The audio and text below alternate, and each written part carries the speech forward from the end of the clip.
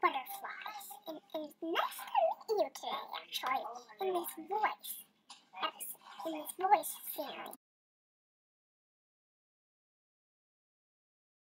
You know me, I'm the boy butterfly.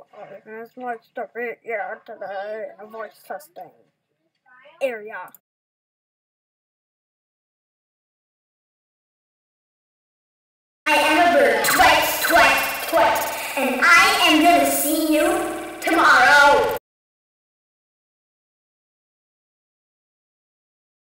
Am the cat, and I am next to a caterpillar. Ha ha ha.